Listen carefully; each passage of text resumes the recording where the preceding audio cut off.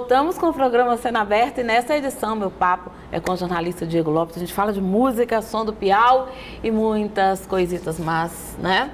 Em relação à cultura piauiense. Você falava da dificuldade, Diego, é, de conteúdo de, de, de novos artistas. Né? O que, que você tem feito para vencer isso?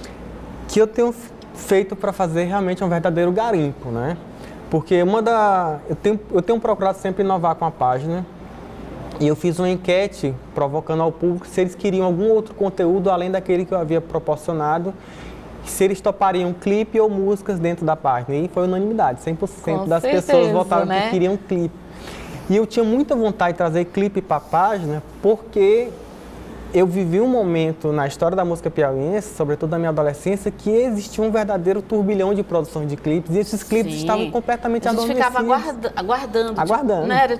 Eles anunciavam no início da e semana. era uma expectativa gigantesca. Ia para show Você lembra de, de algum de... que tenha lembro, realmente assim... Lembro. Sabe, você tenha ficado ansioso esperando por essa produção? Lembro. Bem melhor da Mano Crispim. Olha. É um clipe do começo dos anos 2000. Eu era super fã da Mano Crispim, super fã mesmo. Lamentei bastante quando a banda se desfez na versão original, quando fazia banda, a música autoral.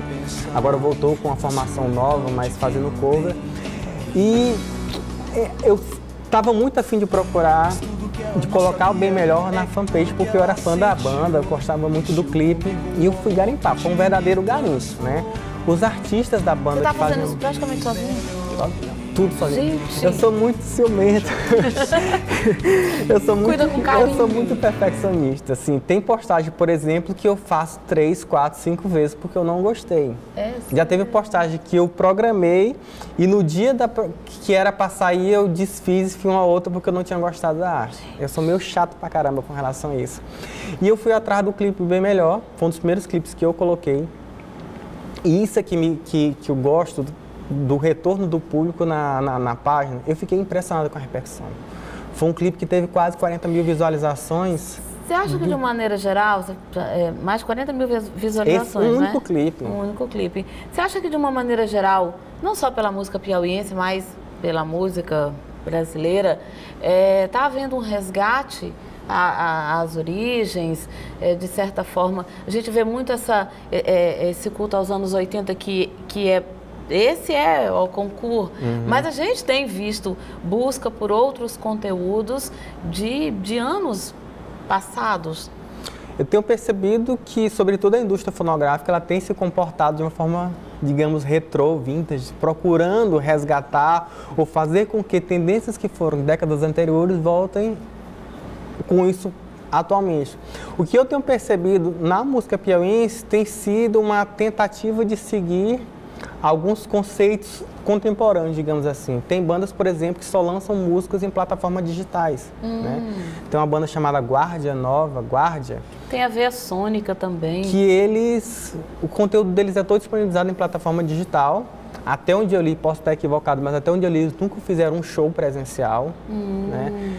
E é uma banda que tem apostado nesse conceito, que tem apostado nesse formato de, de produção e a repercussão é muito grande. Já li algumas críticas em sites nacionais, inclusive a respeito dessa banda. Sinal de que eles têm cativado o público. Vamos passear mais pela Som do Piau? Vamos passear mais. A gente consegue encontrar informações sobre as bandas além do conteúdo? Além de conteúdo. Além tem... do conteúdo musical. Além do conteúdo musical, eu tenho procurado sempre anexar esse conteúdo, um pouco da história daquela banda, um pouco da história daquela música. Às vezes eu consigo esse conteúdo. Não é tão fácil assim. Mas quando eu coloco o videoclipe, sempre conto um pouco da história da banda, coloco o ano que que o clipe foi produzido, coloca os créditos do clipe. Ou seja, o público também pode ajudar, né? Pode. Chega lá, olha, banda já tiveram tal, queria acrescentar. Vezes, já tiveram várias vezes. Assim que eu comecei a Som do Piau, eu recebi uma crítica muito grande. Eu sabia que essa crítica ela viria com a partir do momento que a que a página ficasse conhecida, uhum. que as pessoas sempre questionavam o crédito das letras, de letra em música. Ah, e eu não claro. colocava. eu colocava o título da música, eu colocava o intérprete. Uhum. Na, na postagem sempre tem a assinatura do intérprete ou do, do cantor, de uma cantora ou de uma banda.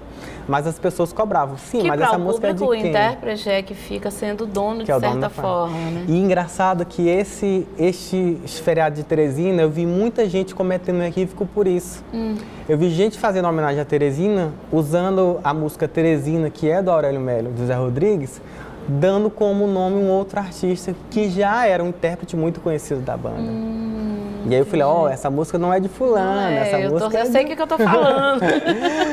mas eu acho bom isso, porque você acaba fazendo com que as pessoas tomem conhecimento e, consequentemente, não repliquem informação equi- equivocada que reforce esse equívoco em outras pessoas que talvez pensem o mesmo pelo fato do intérprete ter é, a sua, a- essa música mais conhecida na sua voz.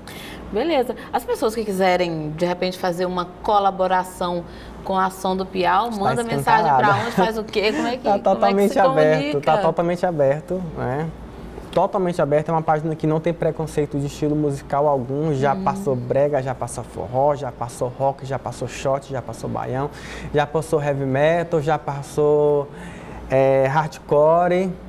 É uma página que toca de tudo, porque a proposta dela realmente é ser um espaço de valorização da música, independente de qual estilo seja, independente da quantidade de público que esta música tenha.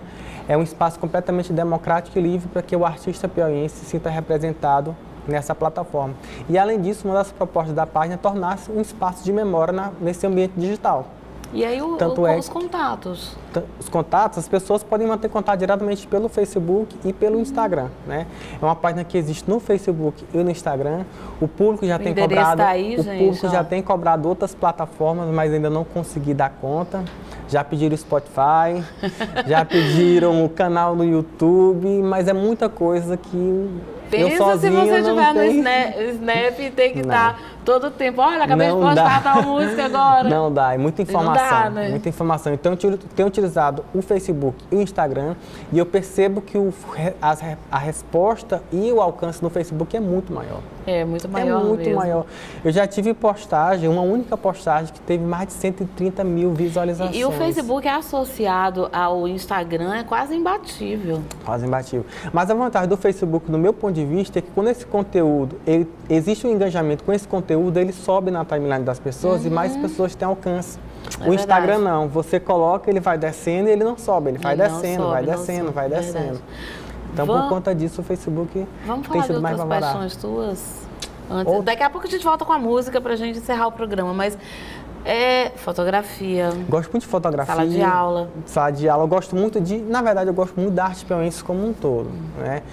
Talvez eu seja um artista frustrado, né? Na minha adolescência, eu tentei fazer violão, aprendi. Eu tinha muito amigo que tocava em banda na adolescência e acho que por conta disso, né? Isso acabou refletindo talvez até na própria Que página apareçam mais artistas frustrados como o Diego para criar né, projetos semelhantes, né? Mas eu também gosto muito de arte. Na verdade, eu tenho uma relação muito grande com as identidades piauienses, seja ela qual for, né? A minha tatuagem aqui é a Tá vendo prova aqui, mais tem a viva de que, de que esse estado está sempre comigo a todo instante. Eu procuro estar sempre valorizando e reforçando esses valores. Essa aqui também é muito, muito bonita. Essa viu? aqui, na verdade, ela tem o- a marca da Sonopial, ela está aqui diretamente, tô né? Isso aqui é um grafismo indígena que tem representação com elementos da natureza e o, e o peixe está aqui também. Mas eu gosto muito das artes plásticas também piauienses. Sou Uhum. apaixonado pelo Nonato Oliveira. Falando de tatuagem, inclusive, já pedi uma autorização dele para tatuar uma, uma imagem dele no meu braço. Já tenho essa autorização, acho que Tá brevemente. vestindo a camisa com uma arte do Estou Dome. vestindo camisa com arte do Dome, então assim, eu estou sempre procurando é, dar visibilidade de alguma forma a essa arte, não pura e simplesmente por ser um cara que se encanta com essa arte, que se encanta com essa produção, mas por perceber que existem muitas riquezas no nosso estado, acaba que se existem tornando muitos um porta-voz. e que De certa maneira. espero que sim, talvez Você tá despretensiosamente, mas atuando na sala de aula? Estou dando aula na UESP, curso de comunicação social, e eu tenho uma- dado aula também sobre mídias sociais. Então, Então, você passa essas ideias, assim, Ah, mas relógio. piauienses? Sempre que eu falo de, de mídia social, sempre que eu falo de alguma coisa que tenha muito a ver com Piauí, obviamente que eu dou lá uma cutucada, fazendo com que as pessoas... Uma coisa que eu tenho trabalhado muito em sala de aula é filme. Eu adoro usar filme como, Hum. é, na didática e eu só uso filme brasileiro. né? Nossa, também eu tenho um pouco disso. Eu coleciono filme nacional, tenho mais de 300 filmes em Gente, casa. Você tem que voltar outro dia pra gente falar de cinema. Então eu levo esses filmes sempre quando eu, quando eu vejo que tem alguma temática que tem a ver com alguns filmes que eu tenho em casa, eu levo passar de aula para Tem algum piauiense? Adoro. Agora mesmo estou orientando TCC e teve um aluno que me pediu indicação de, de uma edição num formato que ela havia pensado para o TCC dela, para o documentário dela. Eu falei, Um Corpo Subterrâneo de Douglas Machado, pode assistir. Acho fantástico aquele filme do Douglas. Né? Para mim é um dos melhores filmes do Douglas. Eu diria o melhor filme do Douglas que eu gosto. Tenho quase todos, aquela coleção série literatura, tenho quase todos. Tenho Cipriano, tenho Corpo Subterrâneo também.